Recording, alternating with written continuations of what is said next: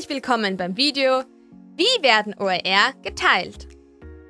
In diesem Video erhalten Sie einen Einblick in die korrekte Kennzeichnung CC-lizenzierter Werke. Sie können damit Ihre Kenntnisse im Umgang mit der Tulu-Regel fördern. Die Tulu-Regel ist eine Eselsbrücke, also eine Merkhilfe für alle, die ein Werk unter freier Lizenz richtig kennzeichnen wollen. Das gilt für alle Materialarten, ob das ein Buch oder ein Bild, ein Video oder ein Podcast, ein Online-Kurs oder eine Präsentation ist. Kurz gesagt, das gilt für alles, was man unter einer Lizenz von Creative Commons, kurz CC, nutzen möchte. Dabei geht es um die Auflagen, die ich als Lizenznehmer erfüllen muss. Das heißt, es gibt ein Werk, sagen wir ein Foto, das eine andere Person unter einer CC-Lizenz freigegeben hat. Diese andere Person ist die Lizenzgeberin. Und ich möchte zum Beispiel dieses Foto auf meiner Website einbauen, also bin ich der Lizenznehmer. Das heißt, ich muss mich an die Bedingungen dieser Lizenz halten. Gleichzeitig gilt aber auch, die Tulu-Regel ist wichtig für alle, die selbst etwas unter einer CC-Lizenz teilen wollen, also auch für Lizenzgeber. Denn nur mit einer sauberen Lizenzangabe wird es für den Rest der Welt tatsächlich ganz einfach, das Werk auch zu nutzen. Im besten Falle kann eine andere Person, zum Beispiel ich, den Lizenzhinweis einfach kopieren und bei der eigenen Verwendung wieder einfügen. Jetzt also zur eigentlichen Sache. Was verbirgt sich hinter TULLU, kurz TULU? Neben den verschiedenen Auflagen der CC-Lizenzen, da gibt es ja zum Beispiel Namensnennung oder nicht kommerzielle Nutzung oder Weitergabe unter gleichen Bedingungen, gibt es einige Details, die für jede Lizenzart gelten. Und diese Details kann man sich anhand der fünf Buchstaben TULLU gut merken. Ich dekliniere das gleich im Einzelnen mal durch und anschließend zeige ich ein fehlerfreies Beispiel dafür und gebe konkrete Hilfestellung für den praktischen Umgang mit der Tulu-Regel. Ich beginne mit einem schlechten Beispiel. Hier sieht man einen Lizenzhinweis, in dem fünf Fehler stecken. Tulu, diese fünf Buchstaben stehen für fünf Elemente, die ich in einem Lizenzhinweis berücksichtigen muss und die hier im Beispiel alle nicht erfüllt wurden. T T steht für Titel des Werks und der Titel wird hier gar nicht genannt. U. U steht für Urheber, Urheberin des Werks und auch diese Angabe taucht hier gar nicht auf. L. L steht für Lizenz. Hier steht zwar Creative Commons Lizenz, aber das ist nicht genau genug. Das zweite L steht für Link. Gemeint ist hier der Link zum Lizenztext und in unserem schlechten Beispiel fehlt auch dieser Link. Und schließlich das zweite U, das steht für Ursprungsort, also die Quelle des Werks und auch das fehlt hier. Zusätzlich zu TULLU braucht man unter bestimmten Bedingungen noch das V. Deswegen müssten wir eigentlich von der Tulu plus V-Regel sprechen, wenn man es genau nimmt. Das V braucht man immer dann, wenn man ein Werk von jemandem anderen übernimmt und vor dem Verbreiten daran Veränderungen vornimmt. Das V steht für Veränderung. Das kann bei einem Bild zum Beispiel ein Zuschnitt oder eine Farbänderung sein oder bei einem Text eine Übersetzung oder eine Kürzung. Für diese Veränderung braucht es keine ausführliche, sondern eine klare und kompakte Auskunft im Lizenzhinweis, inwieweit man eine Veränderung vorgenommen hat.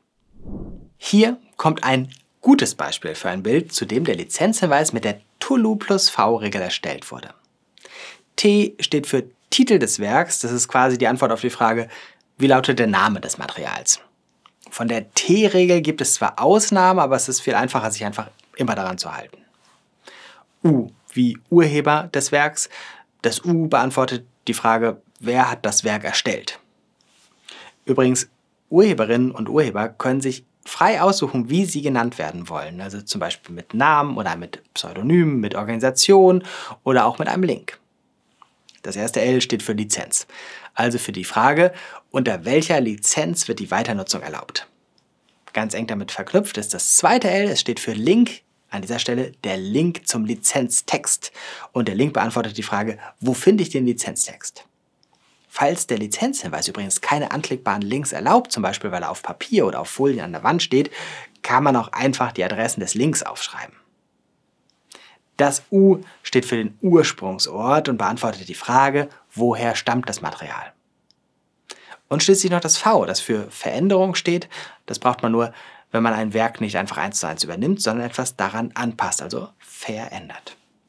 T-U-L-L-U, Tulu, gegebenenfalls plus V. Diese Angaben braucht es, damit eine Lizenz gültig ist. Wer jetzt die Tulu-Regel in der eigenen Praxis nutzen möchte, bekommt an dieser Stelle noch drei praktische Tipps dafür. Erstens, ein hilfreiches Tool gibt es bei Creative Commons, also den Erfindern der CC-Lizenzen auf der Website. Mit dem License Chooser findet man nicht nur die richtige Lizenz für das eigene Werk, sondern bekommt auch einen Copy- und Paste-fähigen Lizenzhinweis, der die Tulu-Regel komplett erfüllt. Man findet das Tool im Web unter creativecommons.org/choose.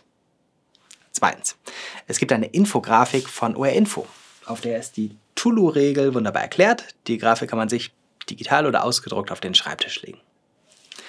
Und drittens, auf lizenzhinweisgenerator.de kann man sich automatisch einen Lizenzhinweis erstellen lassen, wenn man ein Bild aus Wikipedia oder Wikimedia Commons nutzen möchte. Das war die Tulu-Regel, eine Eselsbrücke zur Formulierung von Lizenzhinweisen, bei denen einer Veröffentlichung von OER nichts mehr im Weg steht. Übrigens für die Lizenzprofis noch etwas Detailwissen. Das T, also die Nennung des Titels, ist bei Werken in solchen Fällen nicht zwingend vorgeschrieben, in denen vom Urheber eine Lizenz mit der Version 4.0 gewählt wurde. Außerdem ist nicht immer hundertprozentig klar, was ein Titel ist und was nicht. Beispielsweise ist ein technischer Dateiname, wie zum Beispiel pxl-2021-0827.jpg, kein Titel. Aber es gibt Graubereiche. Meine Empfehlung, im Zweifelsfall interpretiert man unklare Angaben lieber als Titel, als dass man sie unter den Tisch fallen lässt. Zum zweiten L gibt es eine theoretische Alternative. Man braucht keinen Link zum Lizenztext, wenn man stattdessen eine Kopie des kompletten Lizenztextes dem Werk hinzufügt. Das ist allerdings aufgrund der Länge des Lizenztextes in den meisten Fällen sehr unpraktisch. Ein Link ist da deutlich einfacher. Die Tolo-Regel wurde im Deutschen erstmals 2016 auf OR Info vorgestellt. Sie ist eine Übersetzung, Anpassung und Erweiterung von einem englischsprachigen Vorbild. Bei Creative Commons ist für die englischsprachigen Buchstaben nicht von Tolu, sondern von Tassel die Rede. Die Idee für die deutsche Eselsbrücke Tulu stammt von Sonja Borski. Zum Abschluss wiederhole ich für Sie noch einmal die wichtigsten Inhalte dieses Videos. Die Tulu-Regel steht für T für Titel des Werkes. Das kann bei der Lizenzversion 4.0 entfallen. U für Urheberin. Der Name kann frei gewählt werden. L für Lizenz. Nochmal L für Link zum Lizenztext. Und U für Ursprungsort. Das ist die Quelle des Werkes. Und optional gibt es noch das V für Veränderungen. Ich hoffe, damit konnten Sie Ihre Kenntnisse im Umgang mit der Tulu-Regel erweitern und wir sehen uns im nächsten OER-Video. Bis bald!